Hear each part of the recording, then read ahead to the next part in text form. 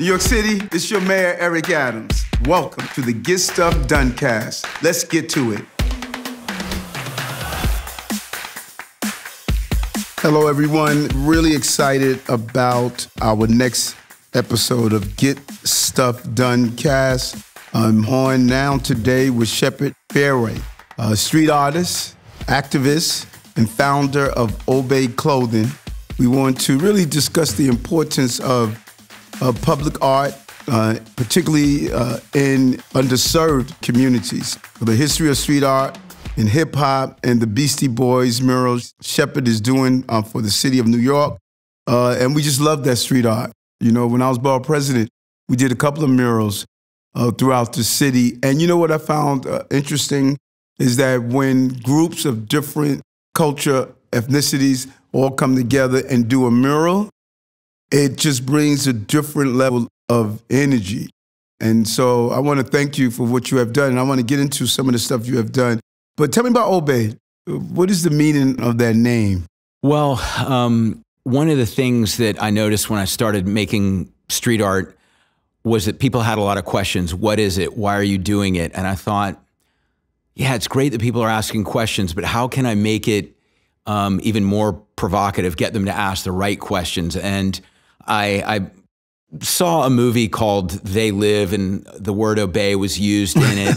um, also, there was a, an artist that I really liked who used a lot of typography, Barbara Kruger, in her work. And I thought, what is something that people do, whether it's a response to a, a you know a written rule, a social convention, a, a fear of of being um, out of out of step with things and being judged they you know they obey or they or they follow the path of re least resistance. And i i felt that using the word obey to get people to confront that idea and say what do i want to obey? What do i want to submit to? What do i believe in? It could set off a chain reaction that could make people more analytical and um, and find more precise purpose in their lives. I love that. I love that. And i remember that movie i've seen, I've seen a big sign obey obey.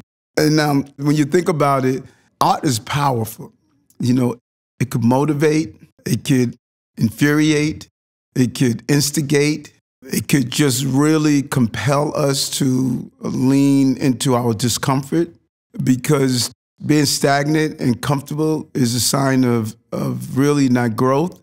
And healthy discomfort can really take us to another evolution. You know, my, my uh, trainer used to say, no pain, no gain.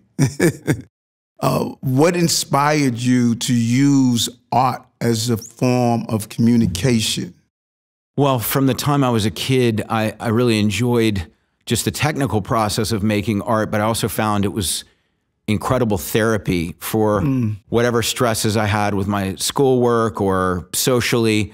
Um, when I was drawing and painting, or later making homemade T-shirts and things like that, um, you know, all of my all, all all of my my insecurity, um, all my anxiety would would evaporate for that moment while I was making the art. And then I realized that art is a really great tool of communication that people respond to emotionally. It gives people a sense of of pride and empowerment, and um, it's a social tool. It allows people to share with other people and finding, you know, um, finding connection to people is really important to human beings. So all of that motivated me. But to be, you know, a little bit more specific, um, I saw how musicians like Bob Marley, The Clash, Public Enemy, Bob Dylan, um, Bikini Kill, Patti Smith were using were using art. People, you know, in lots of genres were using their music, their art form as a way of conveying ideas through something that was enjoyable to experience. And I thought visual art should do more of that. Mm -hmm. I want to do that with visual art. And um, and I had I had role models in um, a few different artists. Artists from you know Ro Robert Rauschenberg did things for for Earth Day. Barbara Kruger did things around social justice. A guy named Robbie Conal out in L.A. was doing political things. But um, you know, I thought I'd like to do that with art. But I loved the spirit of graffiti. So graffiti um, you know, not going through the bureaucracy, being people saying I exist and I might be told that I should be powerless and in the margins, but I want to find a way to express myself. That was really meaningful to me. you know, I, I mean, there's there's lots of emotions people feel about graffiti. You know, some people feel it's vandalism, but I, I always thought in certain places it was it was appropriate and it was a sign of, um, you know, uh, humanity's desire to say I exist, just like you know a flower growing through a crack in the sidewalk. Mm, mm. But um, but yeah, yeah. But for me, art is a, is a way to connect my ideas with people through you know a, a medium that they they might actually ponder and not reject instantly. Sometimes I think that for other forms of media, people say uh, that sounds like a talking point that I don't identify with as a Democrat, Republican, this race, that race, this religion, that religion. Art sometimes is able to get through those barriers. Well said. And and the what do you what do you hope uh, people walk away with after seeing one of your pieces? Well, at the very least, I hope that they um, that they consider the power of art. Um, I do a lot of art in public spaces, and I think that there should be more art in public spaces because it enriches communities. But for someone to look at a piece of art and say, "Oh, that person wants to say something. What are they trying to say? What does it make me feel?"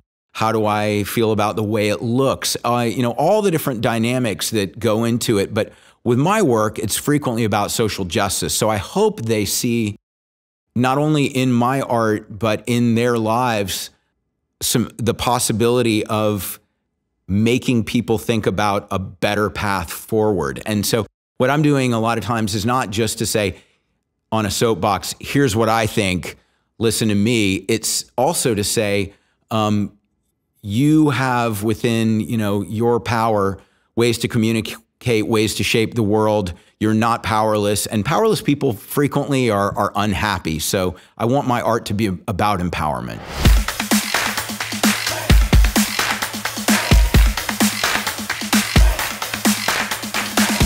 We often talk about the uh, physical nourishment of our bodies on making sure we eat a well balanced healthy meal, and we fail fail to realize the emotional nourishment.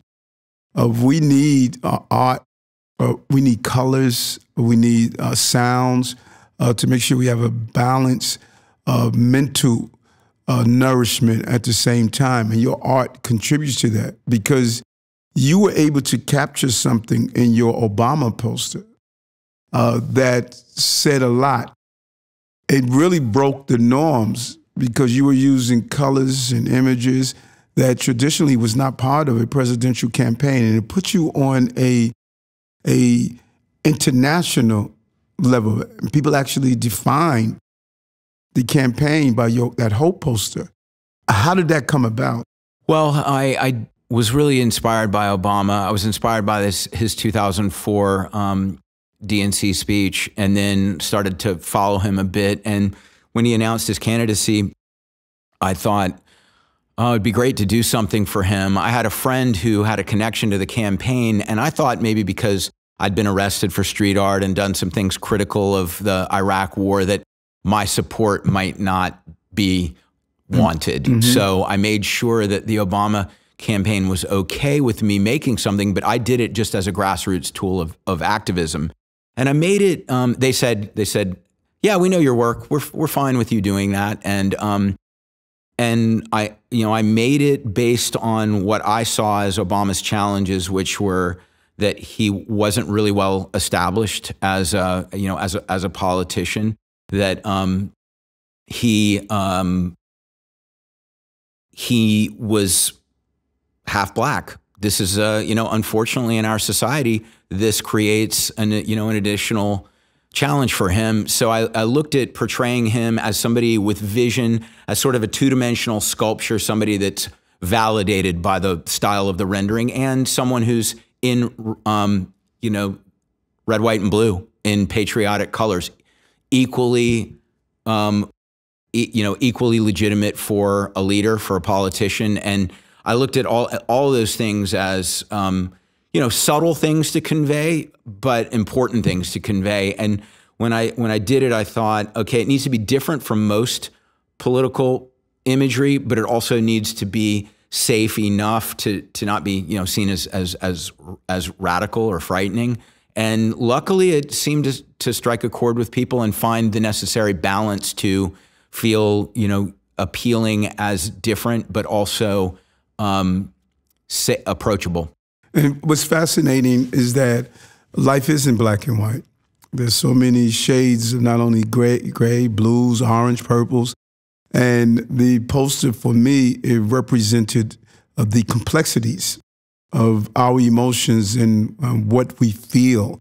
And people always want to place us into corners and say either you are for this or against that, when in fact, there are just so many shades. And that's what I saw in the poster. And I'm pretty sure everyone who saw the poster may have saw different things. But I walked away with the large word of hope, which was his signature, and the complexity of, of life. Life is, is complex. Well, the um, uh, one thing I forgot to mention, which it, it plays right into what you're talking about, is that when when Obama said in his the speech that really you know put him on most people's radar. We're not red states, we're not blue states for the United States. I wanted to have um, use red, white, and blue, and have the red and blue converge in the middle of his face, and um, showing that that you know we're this polarization that we're you know that we're dealing with is really unhealthy because most people have views that um, you know maybe align with one party more than the other, but nobody, you know, pe people aren't monolithic. Right. And, um, and so also in order to create the greatest good for the greatest number of people, um, you know, compromise and understanding the the vast you know variety of of needs of a of a society is really important. So what you know what you're talking about is right up my alley, and I'm amazed that you know you you got that because it was definitely intended the excitement of doing um, one of my heroes, Nelson Mandela. You did a, uh, a 22,174 square feet uh, image of Nelson Mandela. I was when I was in South Africa and went over and saw this small prison cell and hard floor that he slept on. I always think about it. How did it feel doing that mural? Well, I mean, Mandela is an amazing inspiration. Um, and I, I, you know, I put him up there with uh, with Martin Luther King, Gandhi, um, and to get to do that mural in Johannesburg, um, as as an American, to have that opportunity was uh, was really incredible, and to you know um, go to Soweto and and and you know go and hang out and see the house that he originally grew up in and and go and uh, and and have a meal with the guys that own the clothing store that brought Chuck D in to do a performance. Um, know, it was really it was really special for me, and um, and then just to, to hear perspectives. Traveling for me has been a very important part of um, just seeing you know seeing how other people live, see how seeing how they they they think, and expanding my empathy. So um, yeah, it's an incredible incredible honor to do those things. I I don't take it lightly at all, and even the you know the inclusion of um, some of the desert flowers and the pattern in the background were um, symbolic of of, uh, of resilience through very very challenging circumstances. You know, that's a, a flower that grows with a you know, in hot sun with little water. And so the all the symbolism is stuff that I take seriously, and I want to make sure that I am being um, really thorough about my research of the local culture so that I can participate in a way that actually will connect with the locals.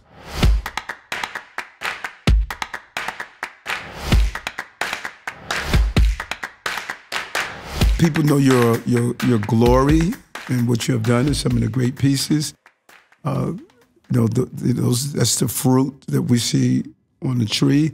Uh, but tell me the roots. Like, what's your story? How did you get here? Did you grow up in New York City?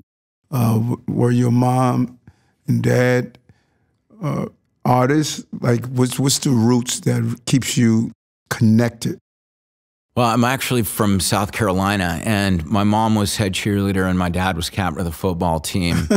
and um, I, I grew up, you know, solidly middle class, but I did. There was something about preppy culture that didn't sit well with me, and um, I discovered skateboarding and punk rock, and then hip hop when I was in high school, and these were very rebellious, creative cultures. Um, my best, I started making homemade T-shirts and stickers when I was in high school. Um, and that was a way for you know for me to have a cultural connection to some of the things that I, I loved sharing sharing bands and imagery that I liked with friends with what I was wearing which eventually played into me starting my own fashion line but then it also played into when I um, went off to art school in Rhode Island and started coming to New York because my best friend was going to NYU seeing the graffiti and picking up on the spirit of that, but wanting to do it in my own way where I, you know, I'm making t-shirts that I'm taking to boutiques, but I'm always also making stickers and stencils that I was putting up on the street. And a lot of that came out of me feeling that um, a, a, a, society that's almost like I came from in, in South Carolina, a culture that's almost saying, this is what your background is, so this is what your future is felt stifling, and I wanted to explore a little more than that. And uh, you know, New York City gives you a lot of opportunities for that. Uh, your mom and dad are are they still with us? Yeah, and they, um, you know, we we've we were far apart for a while, and I've um, I've I've become a lot more appreciative of everything they did for me, and they've become a lot more understanding of my vision as an artist. So we're very close now. Yeah, and that's an interesting cycle with families. You know, you not all families, but I find when I talk, speak with close friends, they talk about. It seems like there's a period where everyone is number one readjusting to the relationships because we're always going to view our children as our children. And our children are always in a pursuit of having their independence and finding themselves. And I think once the water settles, you could come back and realize that, hey, you are now an adult. Uh, the relationship with mom and dad, retro, retro, retro, retrospectively, you could say, now I know what you were talking about. And there's an, I think there's a new appreciation for that new relationship that has been established, you know, with them. Yeah, I've, I've definitely come to that point with, with my parents, and um, and they've been giving me advice about um, my own children. Um, my uh, my wife and I have two daughters, and our oldest daughter just started at NYU. Nice, nice, uh, nice. So she's nice. here in the city. Okay, daddy girls. you, know, you know, are they at the stage of you know? Well, you're a cool dad, but are they at the stage of you know, hey, hey, dad, get lost? well, I think that um, no matter what, I do, I'm not going to be cool to them. Um, they call me boomer, um, but um,